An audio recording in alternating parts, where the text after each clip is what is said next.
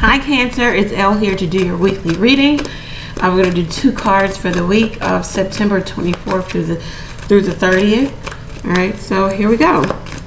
Just a quick read for the week. Okay, the Fool. Some of you are taking a leap of faith in a new direction, new development, um, starting over, uh, abandoning all that you created within let's see, within a relationship, business partnership, uh, job, family dynamic, mindset.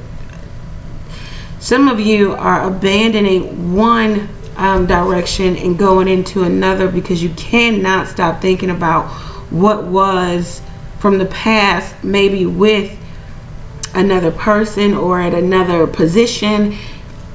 You're thinking of the past and you're making a choice here with the lover's card. Some of you could be dealing with gemini directly um, you could either even be starting anew um, with a gemini person or you could be making a decision because we have the fool card here to start over completely with someone else from the past this could be in business partnership could definitely be romantic with the six of water you feel as if someone else brings you balance brings you stability.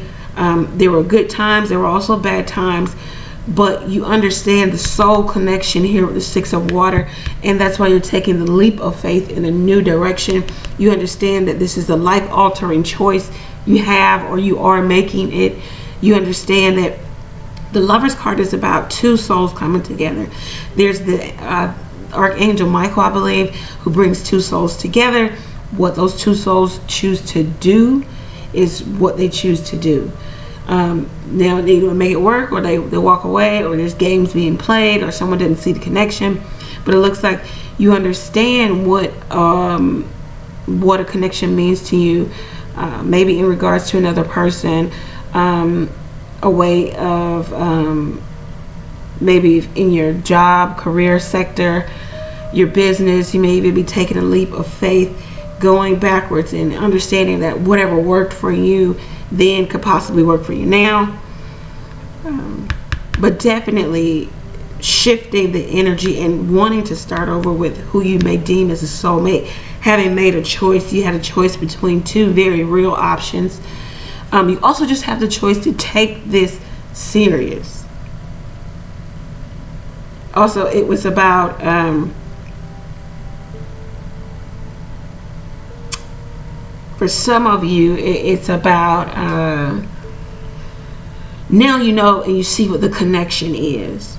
Some of you are blinded and didn't see what the connection was and it is. This is definitely like some twin flame, uh, soulmate type stuff. You know, y'all get into that. I really, you know, just a heavy connection. The Six of Water the Lover's card, the Fool card. Sometimes this is Aquarius, Cancer, Pisces, Scorpio, Gemini in particular. Um, I hope that this reading resonated with you. If it does, uh, like, share, comment, subscribe. All of my information is below. If you feel like you want to request a personal reading for this week or for the um, month coming, um, thank you once again. Know that I'm praying for you. Pray for me as well. Take care, guys.